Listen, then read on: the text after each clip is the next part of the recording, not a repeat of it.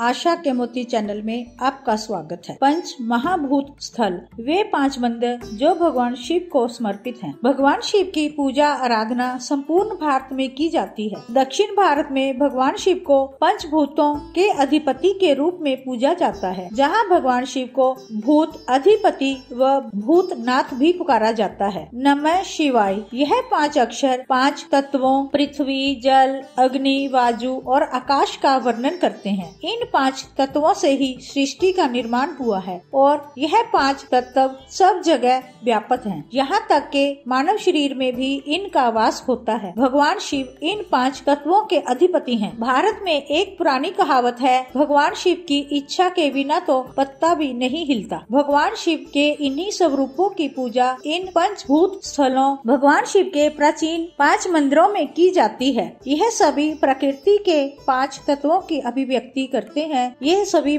मंदिर दक्षिण भारत में स्थित है और हर मंदिर की अपनी एक कहानी और आध्यात्मिक पहलू है।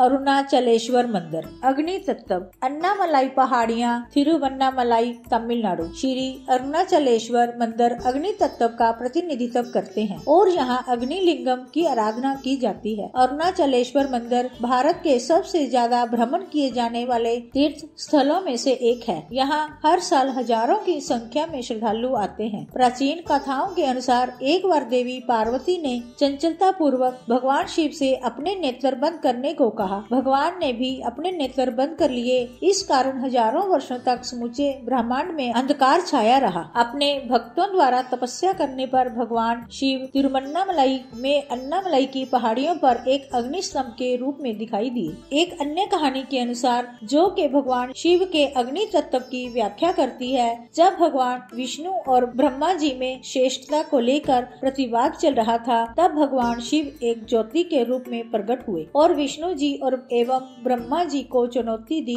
कि उनका स्तोत्र खोज कर बताएँ। ब्रह्मा जी ने हंस का रूप धारण कर ज्योति के ऊपरी भाग को खोजने के लिए ऊपर की ओर गए, जबकि विष्णु जी एक वरदान वन ज्योति का अंत खोजने नीचे की ओर गए हिंदू पुरानी कथाओं में इस दृश्य को लिंगोपद्रव कहा जाता है ब्रह्मा जी एवं विष्णु जी दोनों ही आदि और अंत खोजने में विफल रहे, लेकिन जहाँ भगवान विष्णु ने अपनी पराजय स्वीकार कर ली वही ब्रह्मा जी ने असत्य कहा कि उनको ज्योति का शिखर मिल गया है। इस असत्य से भगवान शिव क्रोधित हुए और ब्रह्मा जी को दंड देते हुए कहा कि आपके पृथ्वी पर ना तो कभी आपकी आराधना होगी और ना ही आपका कोई मंदिर होगा। अग्नि पवित्रता का प्रतीक भी मानी जाती है। यह प्रकाश एवं ऊर्जा का भी प्रतिनिधित्व करती है। ईश्वर की आराधना और उनका जप करने से हमारे मन, विचार, भाव और हमारे जीवन का शुद्धिकरण होता है। जिस जिससे हमारे जीवन में पवित्रता आती है। कहा जाता है, अरुणाचलेश्वर देव साधकों को ज्ञान का प्रकाश प्रदान कर उनके चित्त पर कर्मों की छाप को मिटाकर उनको सकारात्मक ऊर्जा प्रदान करती है। भगवान शिव की आराधना में समर्पित यह विश्व भर में